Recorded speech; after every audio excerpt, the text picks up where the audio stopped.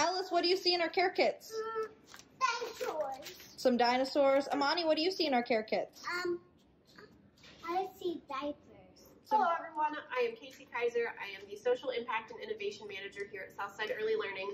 We wanted to extend our deepest thanks and gratitude to those who have donated to the making of our care kits. Um, and we encourage everyone to continue donating at southsidelearning.org slash COVID-19.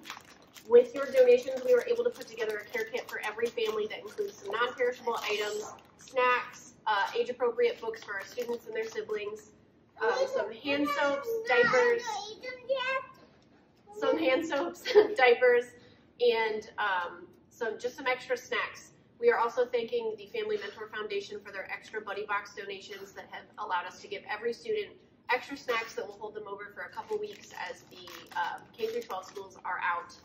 Uh, we are also, in addition to what we are giving our families, we are directing them to go to Mid Ohio Food Bank for anything else they may need.